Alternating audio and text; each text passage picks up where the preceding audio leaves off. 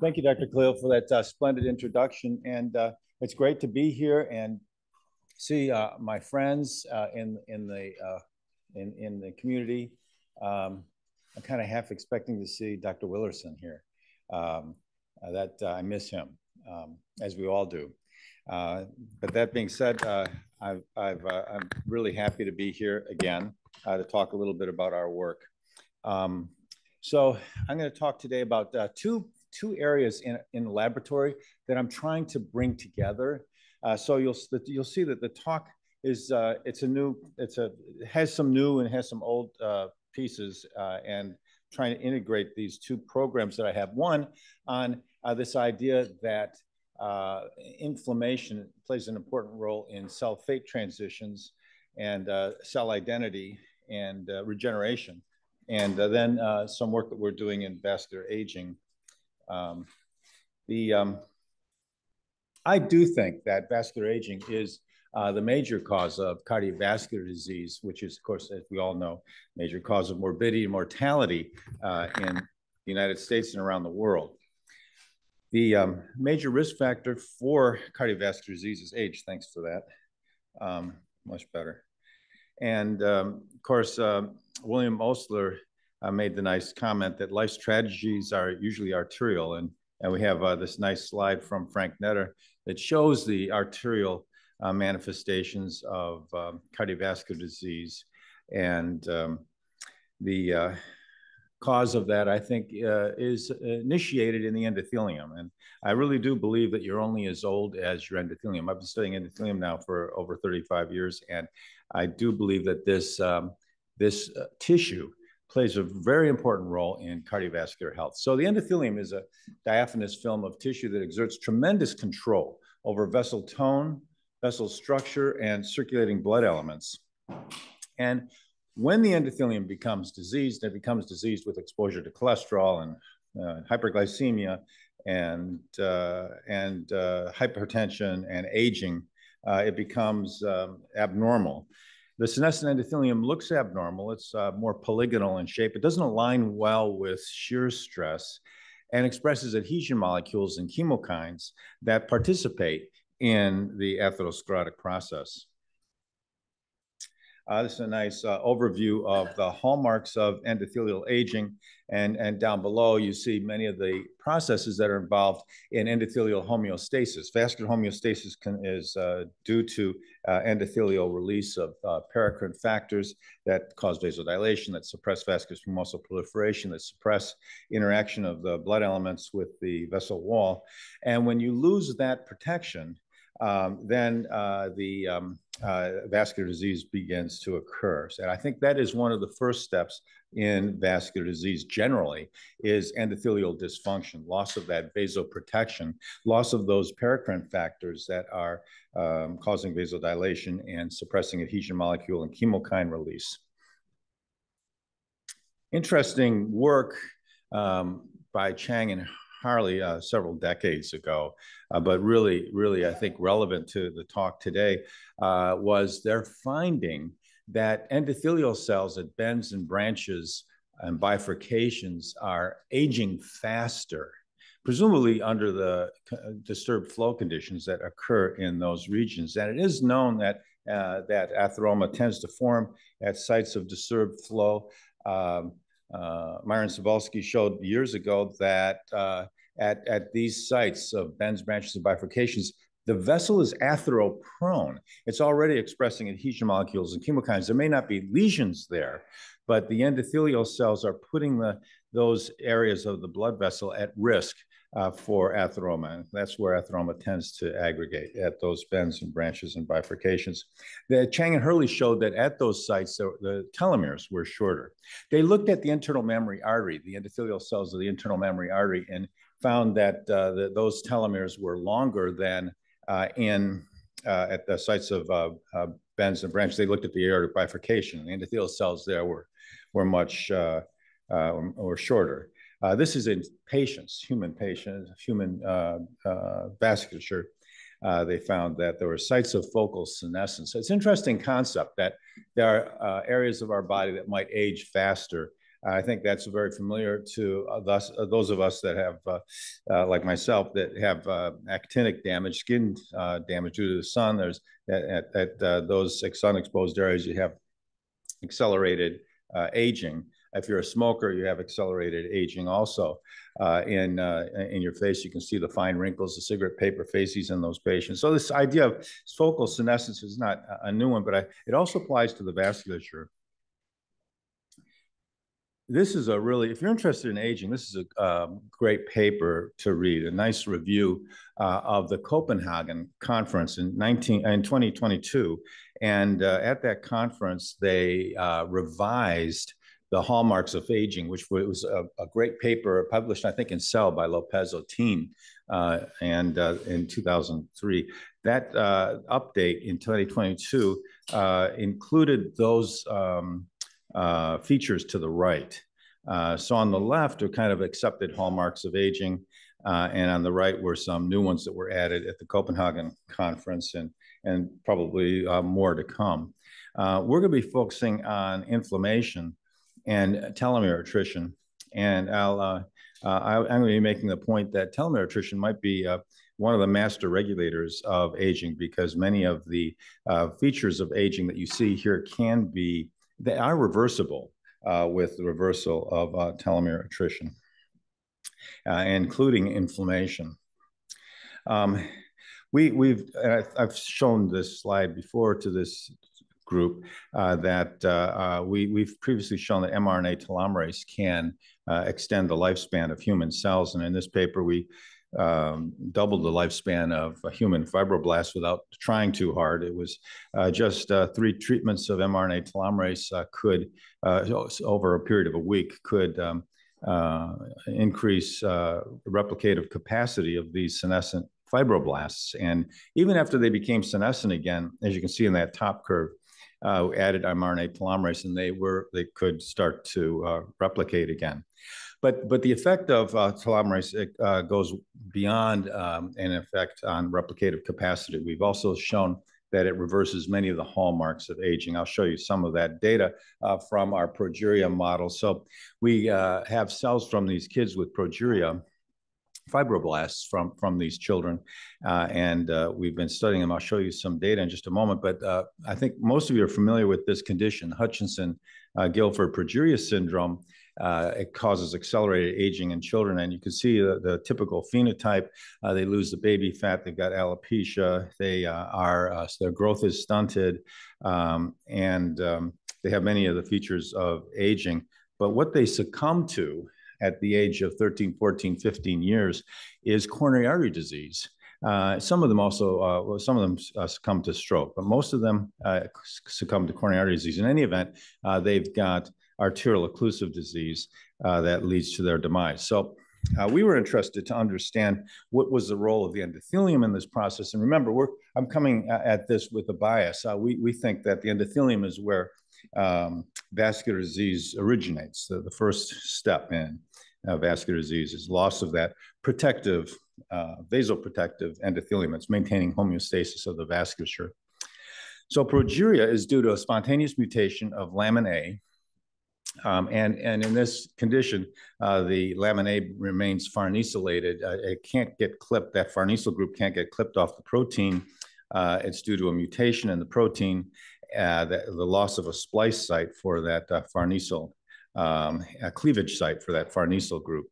And uh, what happens then is the farnesyl group uh, localizes the um, lamin, the, the, abnormal progerin in the nuclear envelope, and the nuclear envelope becomes markedly distorted, as you can see here. The nuclear envelope should be nice and oval, right? Here it's very distorted, and um, that uh, is associated with uh, that change in architecture is associated with uh, global changes in the transcriptional profile of these cells and changes in function one thing of interest is that we all accumulate some progerin as we get older. And uh, this, this uh, disease is associated with telomere erosion. So we are interested to see if, uh, if we could, first of all, uh, generate endothelial cells from these kids. And secondly, uh, how, you know, uh, to understand the, if the hallmarks of aging were present in those endothelial cells. And we were interested to see if we could reverse it, the abnormality. So we uh, made uh, iPSCs from the kids' fibroblasts. So iPSCs are induced pluripotent stem cells. Uh, basically, we use a technique, I'll, I'll mention it in a, in a, few slides later, uh, generated by Yamanaka, uh, who uh, won the Nobel Prize for it in 2012. Uh, and uh, basically, one can generate a stem cell, a pluripotent stem cell, from fibroblasts or other somatic cells. So we use his technology to generate the iPSCs, and uh, the iPSCs are normal from from these children. Uh, the induced pluripotent stem cells are fully normal. Uh, now, one thing about the iPSCs is they do have telomerase activity, which is kind of interesting. So they don't show any signs, manifestations of aging. Uh, they have uh, increased telomerase activity, have normal expression of the stem cell markers, and they can be differentiated. But once you differentiate them into endothelial cells, uh, these um, iPS-derived endothelial cells are very, very abnormal. Uh, we also had fibroblasts from the parents um, and generated, in the same way, generated iPSC-derived endothelial cells. So here um, uh, in panel A, you see the uh, uh, a, um, a, study of the telomere length. Uh, we're using a probe for the telomere in this QFISH technology, and we can measure telomere length in the uh, parental endothelial cells. So these are the parents of the kids. they don't have the mutation. The mutation is spontaneous. It's not familial. so it's a good control. Um, and then the, the endothelial cells from the kids have uh, shorter telomeres. Now, we were able to restore telomere length uh, with the mRNA telomerase treatment. So you see that uh, in panel B.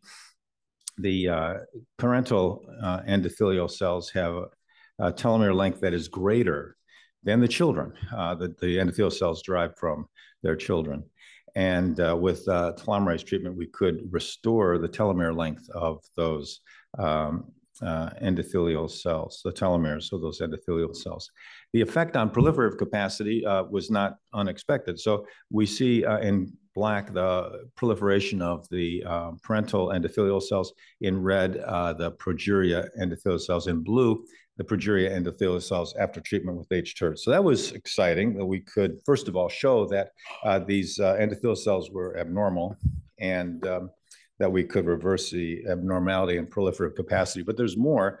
There was striking um, uh, morphological abnormalities within the uh, HGPS endothelial cells that, that are consistent with aging. So um, in panel A, you see the parental endothelial cells. In HGPS endothelial cells, the, there's fewer of them. They don't proliferate as well. We've already seen that. But they're also uh, rounder they're flatter. Uh, we call them, um, we say they have a fried egg appearance. So that's classic for senescent endothelial cells, this fried egg appearance. Uh, after telomerase treatment, the morphology um, normalizes. And look at what happens to the nuclei. Down below, you have uh, nuclear staining with lamin A. And you can see the normal, nice, uh, normal uh, oval uh, envelope in the non-HGPS endothelial cells. It's distorted in the HGPS endothelial cells and normalized uh, with telomerase.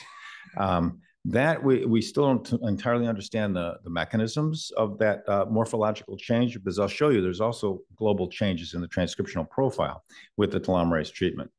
Um, and then uh, in panel C and D, basically are about cell shape, cell area, which are, uh, are, are, abnormal in these uh, endothelial cells from the kids, as, as you can see, and uh, normalized with the telomerase treatment. Um, in panel E, actually, we saw something that was interesting. Again, we don't really have the explanation, but there was a tendency for a reduction in progerin levels in those progeria cells that were treated with telomerase. Um, another thing that was really interesting is that DNA damage signals were reversed. And I, I, don't have the data to show you now, but this is this this was just a reversal of DNA damage signals. Gamma H2AX and 53BP1 are proteins that um, localized at sites of DNA damage. And there was much more expression, as you can see with the immunohistochemistry um, in that panel A. In the HGPS endothelial cells, there was much greater expression of uh, gamma H2AX and 53BP1 in the nucleus, and that was reversible uh, with uh, telomerase treatment. Um, but I also caution my my uh, postdocs I, that the markers of, of DNA damage do not mean that there is DNA damage. We're just, and, and the reversal of those markers uh, does not mean that we've reversed DNA damage, most particularly with the telomerase. So we had a, we have now data uh, showing that uh, genomic DNA damage is actually uh, present in these cells and reversed by uh, the telomerase treatment. So I think that this this is data. It reflects a real phenomenon. Um, I'm going to be talking about inflammation and its role in aging. And um, people who study aging cells are very familiar with this concept of senescence-associated secretory phenotype. Uh, just so I, I, I, get some idea, uh, how many of you guys uh, know about this phenomenon, senescence-associated secretory phenotype? Just raise your hand. I'm just trying to get an idea. Uh, okay, so I'll explain it a little bit more. Um, senescent cells are, are very active, actually, uh, in terms of what they produce. They produce inflammatory cytokines a lot of inflammatory cytokines. And they make the cells around them sick because of that uh, production of inflammatory cytokines. And that has led to something I'm not going to talk about today, but, uh, but it was featured at the American Heart Association um, senolytic therapy. How many people have heard of senolytic therapy? If you're at the American Heart Association, you might have, might have seen some of the presentations on senolytic therapy. Um, so here's the idea, uh, and it's really been developed very nicely by James Kirkland at Mayo Clinic. Um, senescent cells are making the other cells around them sick. They're making them dysfunctional by the production of these inflammatory cytokines. Why don't we try to get rid of the senescent cells? So in uh, genetically engineered models, he was able to show that if you get rid of the senescent cells, if you ablate the senescent cells, the animal actually is rejuvenated animals rejuvenated, and that extends to the heart too.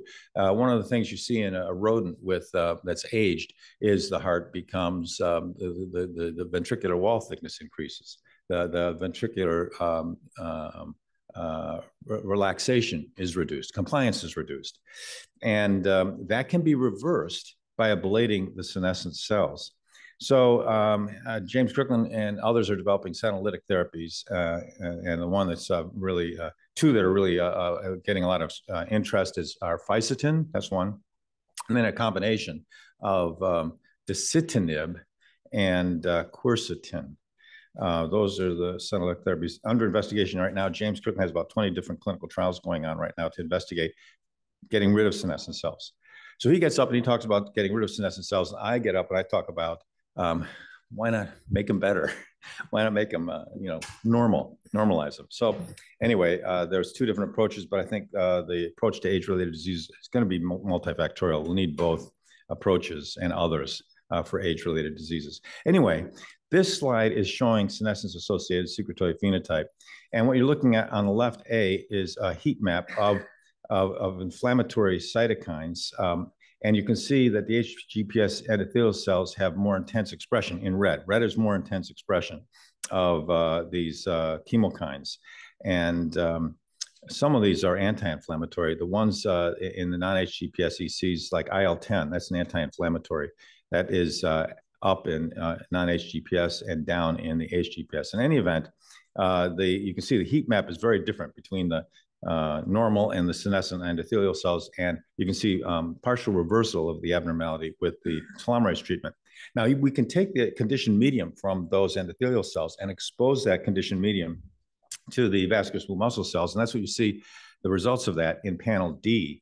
And um, if you take the uh, uh, conditioned medium from the uh, normal parental cells, um, the uh, production of inflammatory cytokines is not very dramatic, but you see dramatic upregulation. Again, the red color uh, from we're using HGPS uh, conditioned medium, and then uh, again that is reversed uh, with telomerase treatment. So, so, the the point is is that um, inflammatory cytokines made by these senescent cells are making other cells around them sick. Um, another thing we found that was that I haven't shown um, is um, uh, mechanical aging. Uh, so uh, cells actually, as they age, they have some um, mechanical alterations, and those mechanical alterations impair their ability to sense physical forces. So one of the things the endothelium does is to sense the tractive force of fluid flow. So it, it, it, senses shear stress. And in response to an increase in shear stress, the endothelium will release nitric oxide that causes a vasodilation of the blood vessel. And because of that vasodilation, the shear stress on the vessel wall is reduced. So um, the ability of the endothelium to respond to physical forces is very important. for cardiovascular homeostasis. And that uh, there's uh, increasing data uh, from our from us and other groups that uh, mechanical aging does occur uh, in in cells in endothelial cells. Here's one example of that. Uh, we're showing um, the effects of of shear stress um, and on YAP, which is a transcriptional activator, and um, actin filaments. Um, now, a normal normal endothelial cell will will uh, will uh, reduce actually the, the translocation of YAP to the nucleus. So that YAP stays in the cytoplasm. Uh, but you see in the HGPS endothelial cells that it's more uh, nuclear. Um, and uh, you also see with the uh, HGPS endothelial cells, there's less alignment of the actin filaments. Um, endothelial cells will align with shear stress, and that is impaired in, in progeria. Another thing that we did uh, was to uh, look using um, atomic force microscopy at the um, um, physical properties of, of, the, of the cell, the, the um, uh, flexibility of the cell uh, using atomic force microscopy and a cantilever. So basically, we're just pushing on the top of the cell, as you can see here in panel B, and we're looking at the deformation of, of the cell in response to that uh, cantilever. And what you can see on the right is the elastic modulus. You can see that in HGPS endothelial cells, the, the cells are much stiffer. And what that means is that it takes more force uh, to deform uh, the endothelial cell, the aged endothelial cell. And that means that the aged endothelial cell is not going to be as responsive to physical forces. So anyway, we, we've shown now that uh, we can reverse many of the hallmarks of aging uh, using telomerase in these progeria endothelial cells. We also went on to show in a mouse model of progeria that we could extend the lifespan of those animals with uh, telomerase treatment. Um, but I want to get to back to this idea of that uh, senescence, the release of inflammatory cytokines changes cell identity. And uh, the heat map in uh, panel B uh, just uh, shows those genes that are dysregulated in endothelial cells. There are about 1,200 genes that were dysregulated in uh, the HGPS endothelial cells and partially restored by the telomerase treatment. So um, what we found uh, generally in the aged endothelial cells, there's less production of nitric oxide, there's more production of reactive oxygen species, there's more production of uh, adhesion molecules and chemokines, everything that you expect uh, in an endothelial cell that's diseased, uh, we see with aging.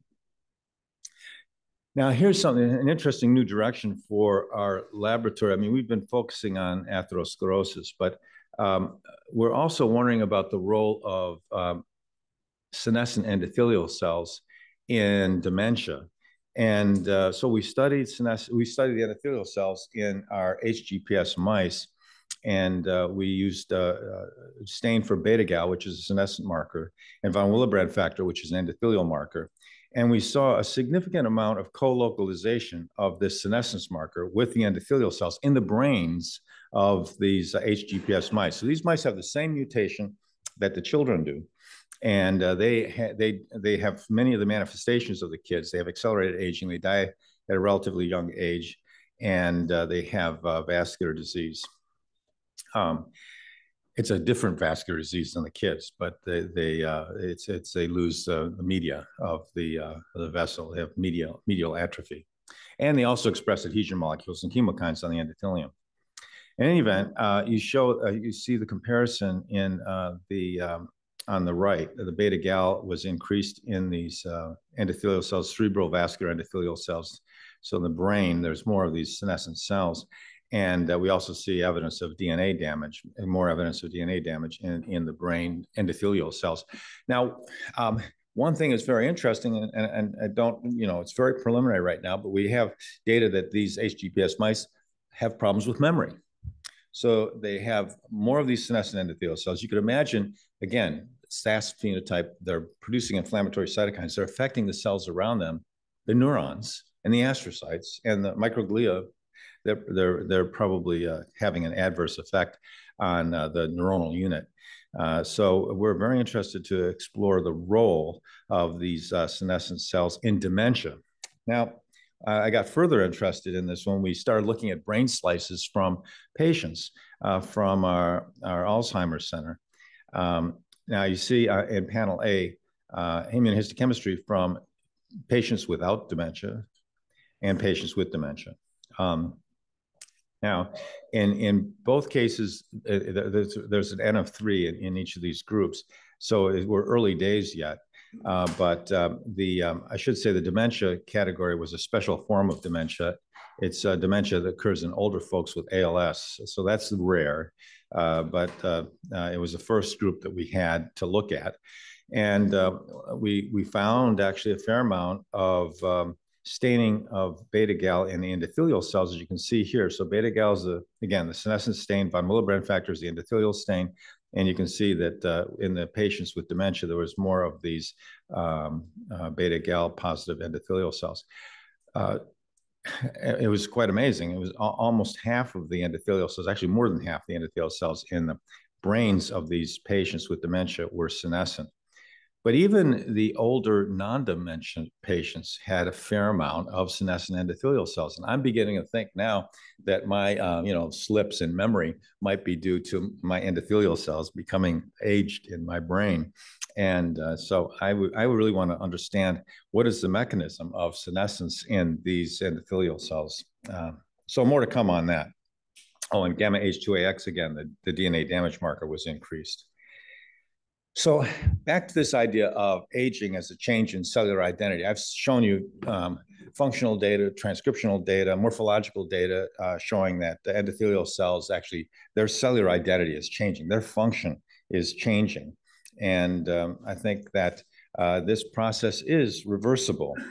Um, so here's the, the SASP again, uh, the slide showing the, uh, the various manifestations of SASP, the senescence-associated secretory phenotype and uh, some of the roles that it has in cancer progression and chronic inflammation, uh, recruitment of immune cells. But here's one you may not know about. Uh, it also seems to be important in tissue repair. So senescence is not entirely um, senescence, senescence is not entirely um, uh, a, negative thing because in some situations, uh, senescent cells are important. And uh, it's now uh, evident in wound healing that uh, senescent cells are, are induced, uh, cellular senescence is induced in the setting of the wound.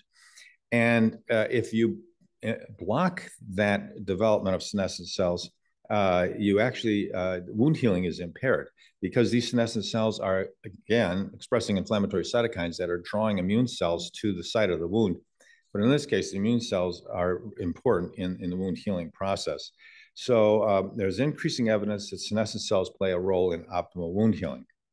And that allows me to, to segue into this uh, new part of the talk, a, a, different part of the talk on the role of inflammatory signaling in, um, in uh, regeneration.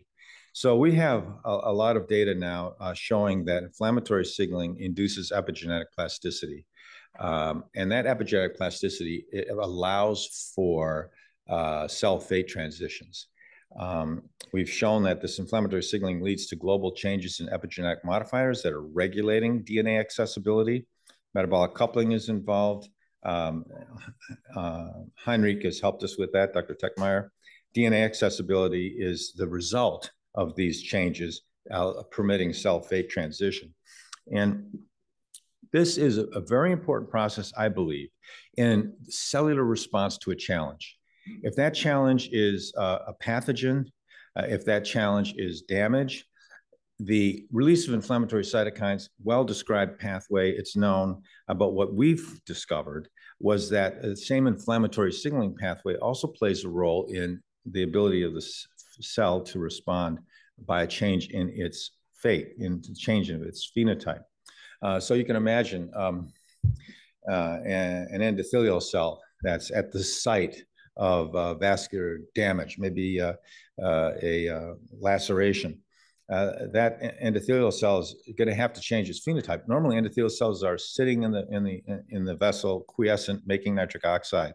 But now you have some damage, um, and and the endothelial cell has to start to migrate, proliferate, you know, form tubes and form new vasculature uh, to help repair that wound. So this process of um, uh, inflammatory signaling inducing DNA accessibility and cell fate transition is an important process in response to injury.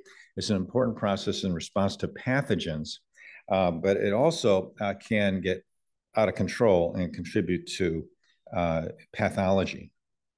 Think of the vascular smooth muscle cells that are in, in, in the, the media of the vascular wall. We now know that some of those vascular smooth muscle cells under the onslaught of hypercholesterolemia uh, can um, and oxidized LDL cholesterol can change their fate. They they be they begin to look more like macrophage. They absorb oxidized lipid and, and they become foam cells. But they're vascular smooth muscle cells initially that have changed their their phenotype in response to a need, a need to clear oxidized lipoprotein from the vessel wall.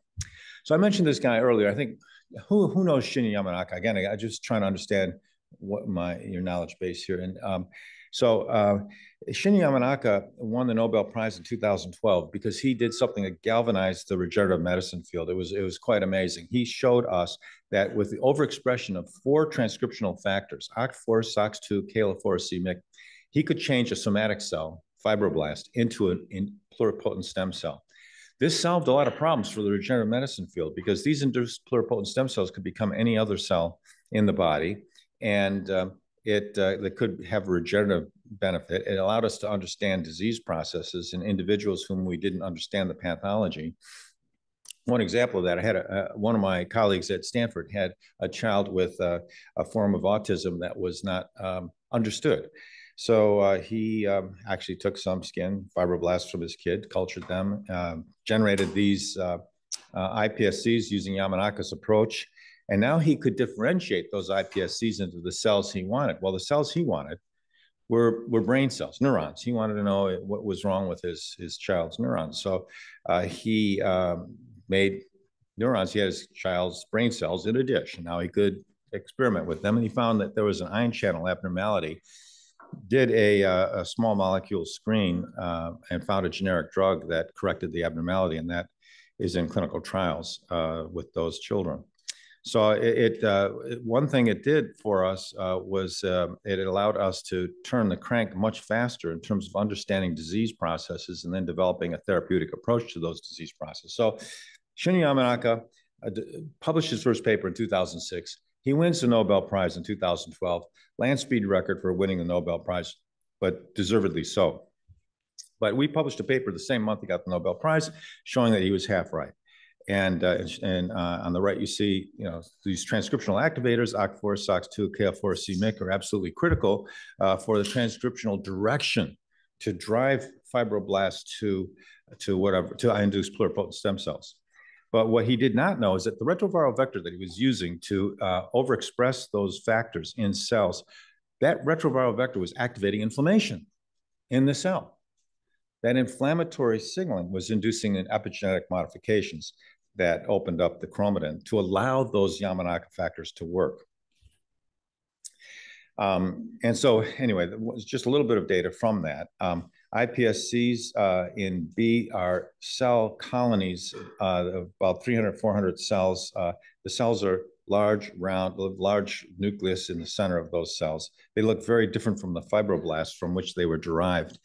Um, but if we uh, knocked out uh, these factors that are involved in inflammatory signaling that are involved in sensing the retroviral vector, uh, TLR3 specifically, and its adapter TRIF, uh, we couldn't get iPSCs. So we used the Yamanaka approach to generate iPSCs, but if we block the inflammatory signaling, uh, we uh, uh, could not get iPSCs. So inflammatory signaling is important in the generation of these iPSCs.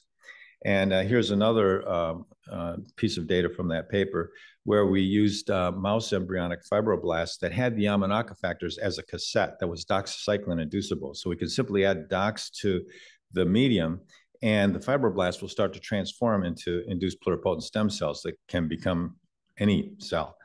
Um, and uh, in, in this case, uh, we added uh, poly-IC, which is uh, same uh, st stimulates the same uh, pathway that the retroviral vector does, uh, retroviral vector stimulates TLR3. And uh, we could get more iPSCs. And then uh, if we blocked inflammatory signaling with an inhibitor of NF-kappa B, we got less iPSCs. So inflammatory signaling is very critical. Anyway, I can't go through all the data. It's, it's several, years of work. But what we found is that inflammatory signaling basically opens up the DNA Um, so a fibroblast at, at, at the site of, of, of a pluripotent gene like OCT4, uh, OCT4 is, is suppressed. The chromatin is closed. Uh, uh, transcriptional factors can't get access to it. But with inflammatory signaling, the chromatin opens up.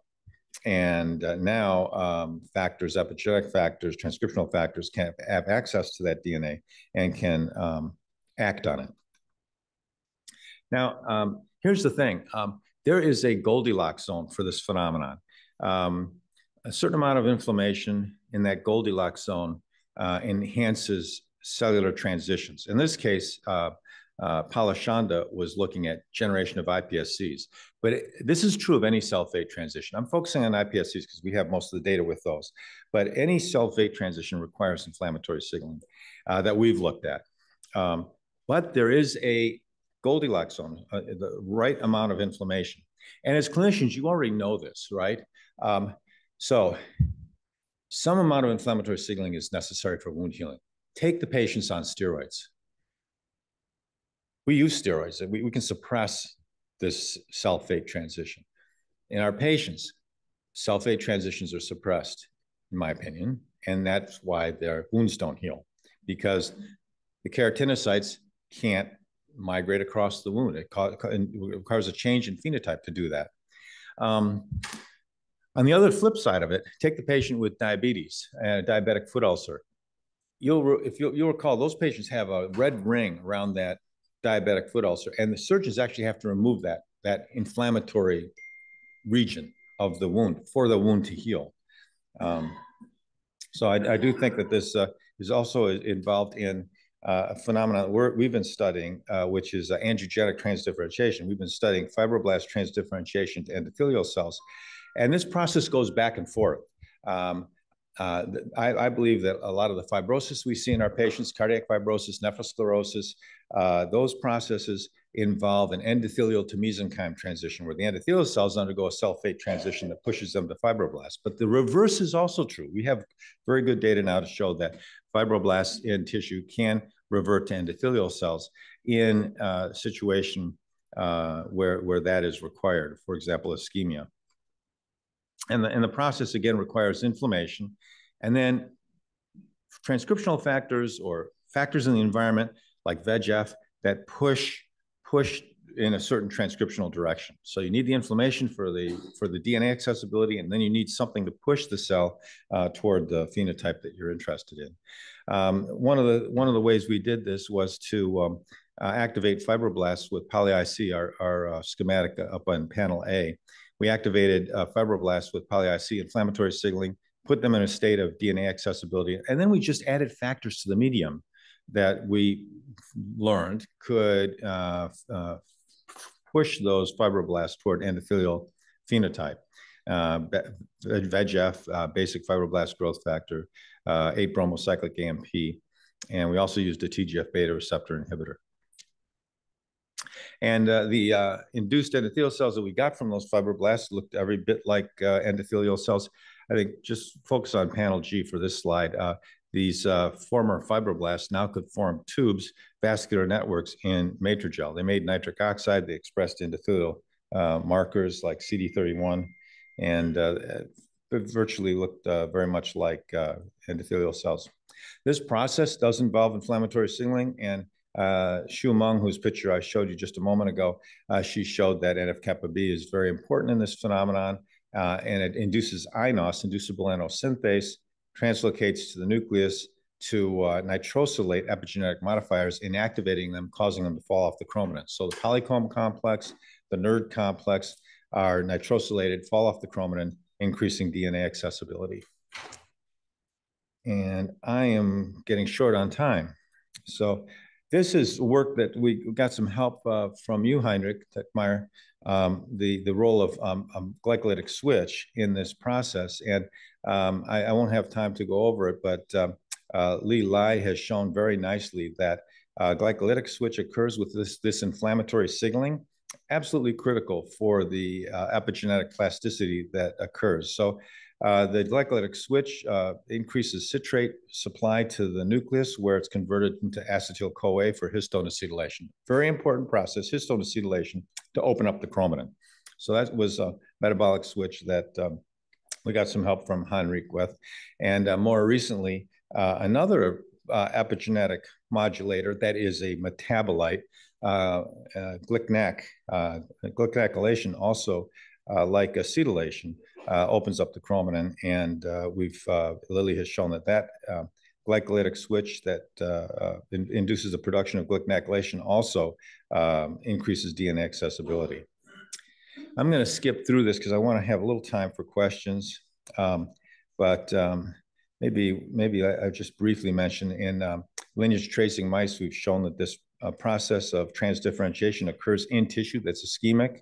Uh, and we've shown that uh, uh, endothelial cells are derived from fibroblasts in the tissue uh, using lineage tracing. Uh, we've done single cell analysis of, of these cells and picked out those fibroblasts. Two, there's two groups of fibroblasts that support the transdifferentiation. Um, and we were able to FACS sort them from the fibroblasts of the hind limb of these animals and show, in fact, that one of them produces angiogenic cytokines. That's uh, the cluster 8 fibroblasts. Cluster 5, just look at that one. Um, cluster 5 cells, if you grow them in 2D culture, they look like fibroblasts, but if you grow them in matrigel, they start forming tubes. So the tube formation on matrigel is not a characteristic of fibroblasts, but it is a characteristic of these fibroblasts that have the capability of becoming endothelial cells. Anyway, we've uh, got increasing data to support this idea that there's an angiogenic transdifferentiation that plays a role in the response to ischemia. Inflammatory signaling triggers uh, DNA accessibility together with this glycolytic shift and allows fibroblasts to support uh, the uh, expansion of the microvasculature that occurs in the setting of ischemia. So we're, we're continuing to study the role of, of uh, inflammatory signaling in um, its, its uh, in regeneration and inflammatory signaling also in aging, uh, because we think that uh, excessive uh, production of inflammatory cytokines can actually, uh, we have evidence that it actually reduces the ability of cell fate uh, to change. Cell fate transition is impaired, and that may be why um, older folks become less resilient because that they, they're in a they're outside of the Goldilocks zone and they can't heal their wounds. They can't heal their fractures. They they uh, they have um, more more trouble with uh, challenges like that because they're on the other side of the Goldilocks zone. In any event, I'll stop here. Uh, that was a lot of data I, I went over with you. Um, be interested in your thoughts. Uh, this is uh, our Department of Cardiovascular Sciences across the uh, street there, and we look forward to working with you, collaborating with you, sharing our ideas. Thank you so much.